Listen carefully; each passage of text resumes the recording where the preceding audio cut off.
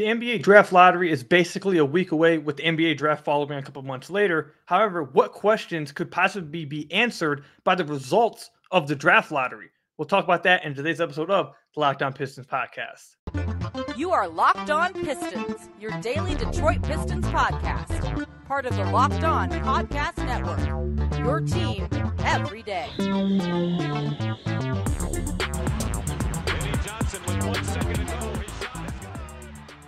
What's the deal? Welcome back to another episode of the Locked On Pistons podcast. Per usual, I'm your host, Kuka Hill. You can find me over on Twitter at Kuka Hill. I want to thank you guys for making Locked On Pistons your first listen of every single day. We are free and available on all your podcast platforms. And if you haven't already, or if you're one of the 50% of people who are watching this on YouTube and haven't hit that subscribe button already, head over to the YouTube channel, Locked On Pistons, hit that subscribe button. It's the best way to support the podcast. We're on our road to 3,000 subscribers, continuing to show Locked On. We're the best and fastest growing fan base at the Locked On Network. So again, hit that subscribe button over at Locked On Pistons YouTube channel. I'd really appreciate it. It's the best way to support the podcast. Now, we're going to be answering three questions that the results of the draft lottery could possibly answer for the Detroit Pistons offseason. So first thing we're going to get out the way is one, obviously the questions won't be for sure answered until they actually select who they select in the draft. But I think when you get the results of the draft or the lottery, you'll have an idea. We'll, we'll start having a better idea of who's going to be there, who the Pistons will likely select, et cetera, et cetera. That's one. Two, we're going to go ahead and do a slim a sim lottery over at Tankathon just for fun. The Pistons remain in three in this uh in this little Tankathon one I just did. That's actually like the best one we've gotten all year. We haven't gotten a good one at all all season. So this is definitely the best one. So, anyways, three questions that the draft lottery could possibly answer for the Detroit Pistons. First question that it will possibly answer for the Pistons, and I think we've talked about this a lot in the podcast. I think everyone is in the same uh, agreement here. The draft lottery will reveal who they'll likely go after in free agency. Now, if you go and look at Tankathon, you go over to the mock draft. Right now, they have Chet Holmgren as number one, Jabari Smith at number two, and Paolo Banchero at number three. The Pistons currently have the third likeliest odds. So in this mock draft, the Pistons are being select are having being predicted to select Paolo Banchero. So who wherever the Pistons land in this draft lottery, we'll start to get a better idea of who they get or who they'll be wanting and who will be available, and that will let you know who they go after in free agency. For example, if they get like a, the number one pick, it's very likely that they're probably going to get a big man, whether that's Jabari Smith, maybe Chet Holmgren. I think probably Chet or Paolo would be the the pick if they got number one. But if they landed anywhere in the top three, I think the answer, I think a lot of us would agree, would be either Jabari Smith, Chet Holmgren, or Paolo Banchero. So, and I have a lot more other, I have more prospects that I want to start scouting. We've went through Holmgren, Paolo. I think that's it so far. Oh, and we got Sharpe coming up, and we'll eventually get to Jabari Smith as well, and we'll get to a bunch of other ones. So I don't know who I have at the top of my list outside the top two guys I've, I've scouted so far. But I think everyone understands that if they land in the top three, they'll be getting a big man. So if they end up getting a big man in the draft and they land in the top three in the draft lottery, they're probably not going to go after DeAndre Ayton, who they have been linked to for the past year or so. Now, on this podcast, I've said that I think it's unlikely that they get DeAndre Ayton because I highly doubt Phoenix lets him walk. I just don't see it happening. That doesn't change the fact, though, that the, the Detroit Pistons have been linked to him all year. They probably have a lot of interest in him if the rumors and the reports are correct. And if they get a top three pick, I think that rules out the possibility of going after DeAndre Ayton. If they fall out of the top three, you're looking at where Tankathon has Jaden Ivey four, Sharpe five, Keegan Murray six. You got AJ Griffin seven, uh, Mathurin, Bennedict Mathurin number eight. You start looking at more guards. You start looking at more wings. And if they get a wing or a guard, and they fall in the, in the draft ladder where you assume that Banchero, Smith, and Holmgren will not be available, they'll likely be going after one of the big men. They will not probably be going after Jalen Brunson, Miles Bridges, Collin Sexton, etc. I think those are the type of answers that you could possibly get just from the draft lottery. Now, again, we we don't know who the what, what Troy Weaver's big board looks like. I think everyone though can have a basic understanding. I think everyone's in agreement. If you don't agree with this, let me know in the comment section down below, or you can tweet at me over at Kuka Hill on Twitter if the Pistons get a top three pick, they're getting a big man. I, I, think a lot of people are in agreement about that. And if they fall out the top three, now it's getting a little bit more, you know, interesting. Are they going to go wing? Are they going to go guard? Could they possibly, you know, uh, maybe get? I think the next guy that at least Tankathon has listed as a quote unquote big guy is Keegan Murray, but he's six eight, power four. I'm assuming he's more of a wing. So if they out if they land outside the top three, I doubt they get a big guy. So those are the answers that could be an- the questions that could be answered simply from the draft ladder. Who will the Detroit Pistons be going after in free agency? If they get top three, likely DeAndre Ayton's crossed off the list. You'll probably still hear rumors about Collin Sexton, Jalen Brunson, Miles Bridges, guys like that in free agency. If they fall out of top three, you likely will stop hearing about some of the Jalen Brunson stuff, some of the Collin Sexton stuff, Miles Bridges stuff. Actually, maybe not Miles Bridges. Miles Bridges may stay on the board if they get a guard, if they really want a wing.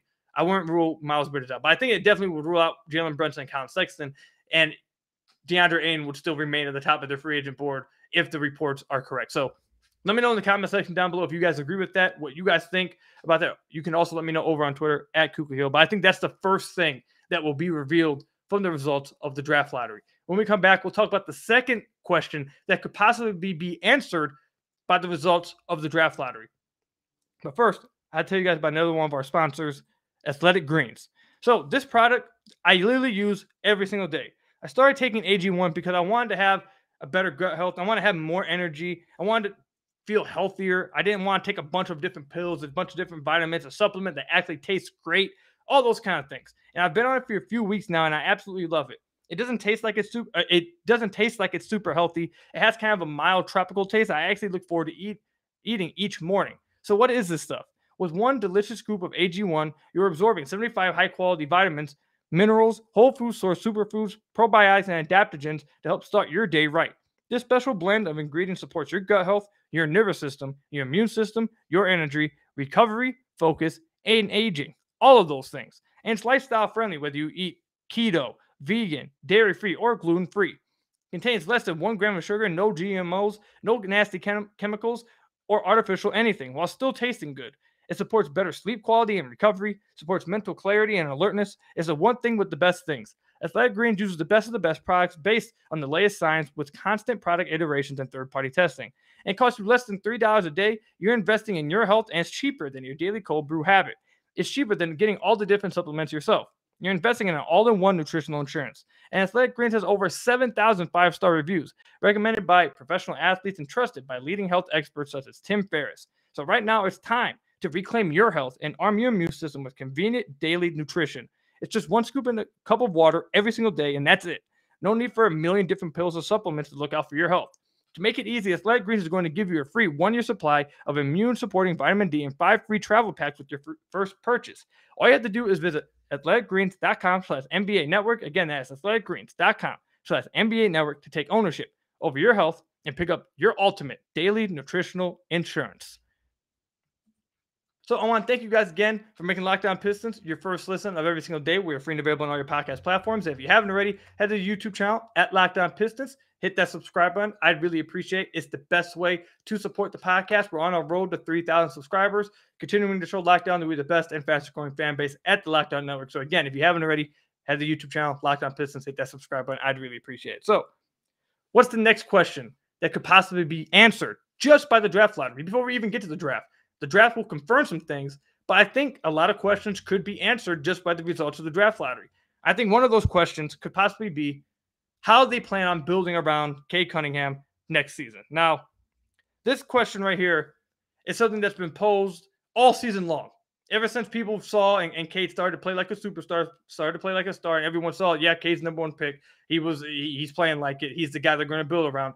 Everyone's questions immediately went to what's going to happen next year what's going to happen years from now? How are they going to build around him? How is it? How, what players do they want around Cade Cunningham? I think the draft lottery, maybe while it won't tell you the exact players that are going to build around him, the exact players they'll sign, the exact players they'll trade for, the exact players they draft, I think it will give you somewhat of an idea of what will be happening. Because I think it hinges on who's available in this draft. I think this draft will be the last time we see the Detroit Pistons and I know that some of you guys aren't going to like to hear this. Some of you guys have said that uh, I've seen a lot of you guys tell me in the comments or on Twitter that you'd like to see the Pistons lose just one more year and get a top pick next year. I don't see that happening. I think this is the Pistons' last chance at getting a top pick in the NBA draft. I don't think they'll be one of the worst teams in the entire NBA next year. I don't think they'll be great. I don't think they'll be that good, but I don't think they'll be top three bad. I think they'll probably be somewhere in like the seven to 12 range. I think that's where they'll be at next year. So I don't expect them to be at the top of the draft next year, which means this is the Pistons' last chance, I think, to get an absolute blue chip prospect as long as they don't fall down. And if they land in the top three, much like it will help decide where they'll go in free agency, it gives you kind of an idea of how they're going to want to build around Cade Cunningham. Because figure, I, I'm assuming if you guys disagree, again, let me know in the comment section down below or hit me up over on Twitter. But I think that if they land in the top three, they are going to draft one of the big men, Chet Holmgren, Jabari Smith, and Paolo Banchero. And that guy is going to be the number two for this team moving forward. I know some people think it's Saddiq Bey. While Saddiq Bey proved me wrong last season, incredibly wrong, played extremely well, and proved that he is a building block, a legit building block for the Detroit Pistons' future going years from now, years from now, even unless, of course, he gets thrown into like a trade for a superstar, which I won't rule out if they could get a superstar. But he is definitely a legit cornerstone or building block, I should say, for the Pistons' future. I don't think he's a number two. I think he's likely a number three or number four for the Pistons when they eventually are trying to contend. Like, I think what people need to understand is with Cade Cunningham, we're not looking at just like eight seeds, seven seeds, six seeds. Like, eventually in the future, the Pistons want to win a championship. We're not looking at just making a good enough team to, you know, be a six seed, fifth seed. They want to win a championship. And I think on a championship team, Saddiq Bey is not going to be your number two. He's probably going to be your number three, maybe even a number four, which is completely fine. He's really good, but I just don't think on a championship team he'll be number two. Either way, my point is, is that if you land in the top three, this guy is likely going to be your number two because of multiple reasons. One, the Pistons are not a great free agent destination. I don't think they're going to swing some superstar in free agency one of these years. I think don't think they're going to swing one of these stars in free agency. I mean, the guys that are on their board right now that we're talking about the Pistons being really interested in, being big buyers for, are guys like Jalen Brunson, never been an All Star. Tom Sexton, never been an All Star. Miles Bridges, never been an All Star. DeAndre Ayton, like these guys are they're good players, but they're not superstars. They're not changing the outcome of your they're not like completely shifting your future. Like they're not changing your franchise type of things. Those are the type of guys the Pistons are going to get. And the way they're going to get superstars is the exact same way they got Cade Cunningham, and that's in the draft. They have to be able to get good draft picks. They have to make the right pick and be able to develop them. So likely the number two guy to Cade Cunningham, his sidekick, is going to come from this upcoming draft, in my estimation. If they get one of the big guys, for example, let's say they get Chet Holmgren. I think that gives you an idea of how they're going to build around Chet and Cade. They're going to surround them with shooters. They're probably going to run a lot of pick and rolls with Chet. They're going to let Chet work from the elbows a little bit. Cade probably isn't going to have the ball in his hands, at least he shouldn't, every single damn possession. They'll probably work through him and Chet Holmgren, and they'll want to surround them with shooters. If they get Jabari Smith, who is a nice lights out shooter, at least from what I've understood, I haven't went to a deep dive with him, but from my general understanding is that he's a lights out shooter. Shooter, from what I've read, they'll probably go after another big guy who can roll to the basket. They'll probably get, you know, um, a scoring wing and let Jabari Smith be one of those guys who spaces the floor and attacks off kickouts, able to knock down shots at an extremely high clip, take advantage of mismatches, etc. If they get one of the wing guys, they're not going to go. You like, for example, if they get Ivey, Sharpe, uh, any of these other wing guys, I think that lets you know, okay, they're going to have to build around this backcourt. That's what their core is going to be, and they're going to need to surround these two guys with a nice big guy who's able to roll to the rim and just shooters around them.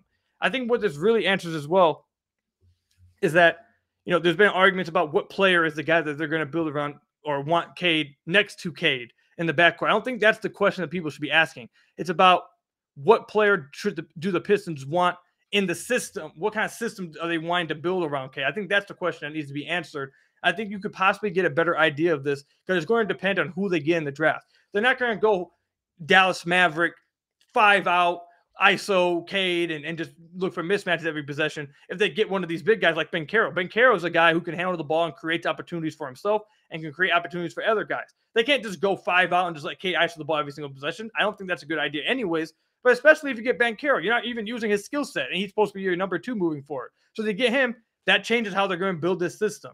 If they get Jabari Smith, you probably have a better chance of being able to run that five out system because of how well the shooter he is. But again, that, those are the kind of questions I think could be answered just by the lottery. It won't be finalized until obviously the Pistons make their actual selection in the upcoming draft. But again, I think after the draft lottery, if the Pistons get top three, you have an idea of who they're going to go after. If they fall outside the top three, you know who's going to be gone and you know who's going to be available. And that's probably going to be a bunch of wings and guards. You have an idea of who they're go after in free agency and what they're likely going to be thinking about moving forward because this guy in this upcoming draft is going to have to be, in my opinion, their number two moving forward, and they need to make sure that this roster and their system fits around these guys. Cade, this number two. I don't think they're worried much about Saddiq Bey, how he's going to fit. I think Saddiq will have no issues with that, um, unless he just, you know, never, you know, I, I don't think Saddiq's gonna have an issue. I'm never gonna go into that. I don't think Saddiq will have an issue no matter who they draft or what system they build around. He's a good shooter. Eventually, he'll become a, I think, a decent defender. And those guys, especially a guy like him who's proven to be able to attack closeouts now and draw free throws, he'll be able to fit in basically any system. I think so. I think he'll be fine. It's really just about these two guys, Cade and whoever they draft, and the results of the draft line. I think will give you a better idea of what system they'll eventually go with. When we come back, we'll answer the third question that will possibly be answered by the results of the draft lottery. But that's after this coming upcoming ad break. Let me tell you guys a little bit about you guys' favorite sponsor, Built Bar. The best part about Built Bars, they're healthy and they're delicious. No more sacrificing delicious food for health. With Built Bar, you can have both. And it's real easy. All you have to do is go to built.com and order now. All Built Bars and Puff Bars are covered in 100% real chocolate. That means that with Built Bar, you can eat healthy and actually enjoy eating them. Have you ever tried the Puffs, uh, Puffs Built Bar yet? We are going crazy for the puffs. They come in crazy flavors like banana cream pie and even churro. And who doesn't want a protein bar that tastes like a churro? And they're only 140 calories. Sign me up. If that's not enough flavor for you, you might want to try the mix box. The mix box comes with 12 flavors of bars and puffs. Built bars make sure that there is something for everyone. My favorite flavor is the peanut butter flavor. You guys know that, but they have all kinds of different flavors cherry barcia, strawberry, raspberry, blueberry, uh, coconut, coconut almond, all kinds of flavors. Make sure you're checking out builtbar.com or built.com and constantly seeing all the flavors. And if you're constantly checking out built.com, you'll see that they're constantly coming out with limited time flavors all the time. It feels like every other week they're coming out with brand new flavors. So again, make sure you're heading to built.com to see all these crazy flavors that the Built Bar has that also is incredible for your health. Again, go to built.com, but this time use promo code LOCKED15 and you'll get 50% off your next order. Again, built.com, use promo code LOCKED15 and you'll get 15% off your next order. That's Built Bar, the best tasting protein bar ever. So I want to thank you guys again for making Locked On Pistons your first listen of every single day. We're free and available on all your podcast platforms. And if you haven't already, head to the YouTube channel at Locked On Pistons. Hit that subscribe button. It's the best way to support the podcast. I'd really appreciate it. We're on a road to 3,000 subscribers, continuing to show Locked On the way the best and fastest growing fan base at the Locked On Network. So again, YouTube channel, Locked On Pistons. Hit that subscribe button. I'd really appreciate it. Now, there's multiple different avenues I wanted to take with this possible third question that will be answered. Um, but I decided to go with the decision that they'll eventually make on Jerami Grant. Now, I think Jerami Grant, this is just my opinion. I was wrong at the deadline, so who knows? But i I believe that Jerami Grant will be traded this offseason no matter what. I think he's going to be off this team. I think they're going to probably trade him for one of the draft picks in this upcoming draft. I, I we've talked about many times that Portland, the Portland Trailblazers are, I think, the leading guys to get Jerami Grant for the because of his relationship with Damian Lillard. They made some cap space. They're trying to build a new system around Dame of kind of like more two-way guys instead of just straight up offense. They, you know, they signaled that when they got rid of CJ McCollum into that era. And they've been reported to be going after Jerami Grant for a while. And I told you guys, even at the trade deadline, I can confirm that they were pushing very, very hard for Jerami Grant, according to my sources. So I think that's likely that Jerami Grant will end up in Portland. Now, there's some other teams that have popped up recently that could possibly be interested in him. We saw something, I believe, last week about the Cleveland Cavaliers possibly be being interested in Jerami Grant. However, I think we all, I think everyone has the Portland Trailblazers number one on that list. Even though I believe, though, that Jerami Grant would be traded no matter what, there's a lot of people who don't agree with that.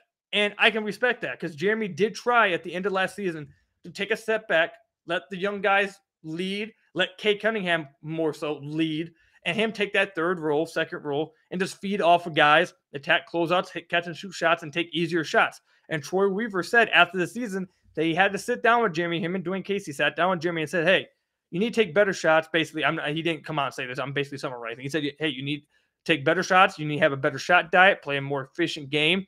And I, I think you saw that start to happen. I want to give Jimmy credit for that.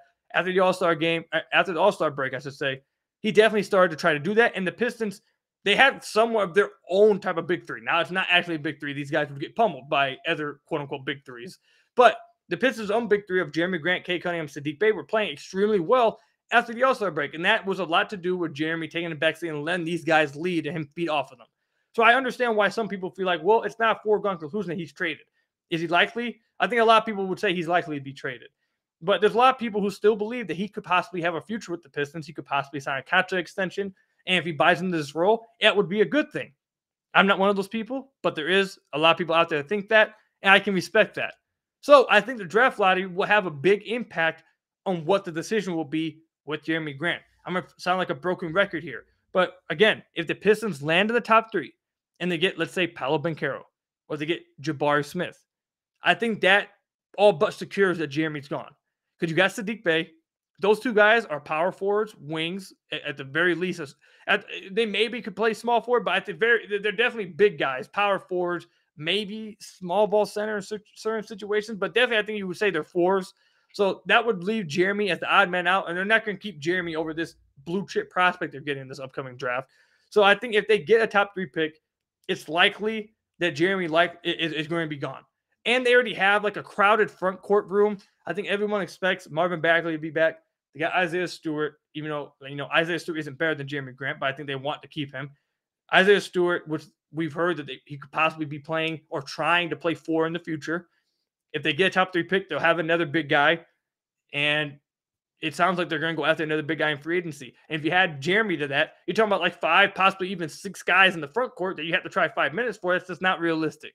So I feel like if they get a top three pick, or they get Banchero, or they get Jabari Smith, or possibly even Holmgren. I think that possibly with, if they get Holmgren, they might want to play Holmgren next to Isaiah Stewart because he might not just be able to battle with big guys down there. It just I don't know if they if he'll be able to do that. They might want to play Stu with him. Let Stu play five on defense. Let him take like the physicality down low, and then offense, you know, mix it up if you want. But defensively, I think Stu would probably help Holmgren or another guy they signed free agency. We've talked about a few guys, obviously DeAndre Ayton, but there's other pickups in free agency at the big man position they could do. Either way, my point is I think if they get a top three pick, Jerami is absolutely gone. There's no way he stays. However, if they fall out the top three, I do think that could increase the likelihood that we could see Jerami Grant still in the Pistons. I think that he still would be traded, but I'm not going to lie, that would definitely increase the likelihood that he'll be here because they'll be getting a shooting guard or a possible wing in the draft. And that doesn't absolutely take Jerami's minutes, especially if they get a guard. If they get a shooting guard, they take Ivey or they take Sharpe or they take Dyson Daniels or they take Mathurin. like one of these guys, that doesn't impact Jerami. That, that's, that guy's not going to be taking minutes from Jerami. So I think that gives reason to believe, hey, Jerami could possibly be on this team. And is that really a bad thing moving forward if he accepts this role and accepts to be a backseat, you know, a third, fourth option and just play what and do what the team needs him to do?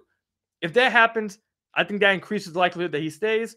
And we could possibly be seeing Jerami Grant signing a contract extension. We could possibly see him start next season off with the Pistons to see how it goes in that lamp and then eventually sign a contract extension. Who knows? But those are some things that I think the draft lottery could potentially be answering for us as Pistons fans when it happens. Now, again, nothing will be completely finalized. I think that obviously the draft itself will answer all of these questions 100%. But again, we'll get, you know, an idea or understanding, I feel like, once the lottery happens, where the Pistons will likely be going, what the teams ahead of them will likely be doing. And really, it's just about if the Pistons get a top three pick. You want me to be honest? If they get top three pick, you're getting one of the top prospects Banchero, Smith, Holmgren. If they fall at top three, now you're looking at trying to find a, you know, I, don't want to say a diamond in the rough, but it's definitely not. it doesn't sound like, at least from what I've read and what I've listened to from draft guys, that they're not as for sure things as one of those top three guys. So those are my questions I feel like could be answered. There are a few other questions I thought about having answered, but I'll leave those ones to you guys. I want you guys to send me questions in the comment section down below or on Twitter at Kuka Hill. Questions you guys think could be answered by the draft lottery results. Let me know again, comments down below or over on Twitter at Kuka Hill. But that's all I've got for you guys today. Thank you guys for listening to today's podcast, making Locked On Pistons your first listen of every single day. We are free and available on all your podcast platforms. Make sure you guys are making Locked On NBA your second listen of every single day. From the first jump ball of the play-in tournament to the last possession of the finals, Locked On experts take you deep inside the playoffs with inside analysis affecting all 30 teams. Again, make sure you're making Locked On NBA your second listen of every single day. And until next time, I'll see you guys later. Stay safe out there. Have fun watching these players. Is uh, playoffs is getting juicy. It's getting interesting. I believe every prediction I made over the last two days was wrong. I'm sorry if I jinxed you. I'm sorry if you guys placed any, uh, you know, bet slips and I screwed you guys over. You guys can send them to me. I'm sorry. I'm, I'm, I'm so sorry. But it's been fun. So make sure you guys are enjoying the playoffs. And until the next podcast, I'll see you guys there. Peace out, everybody.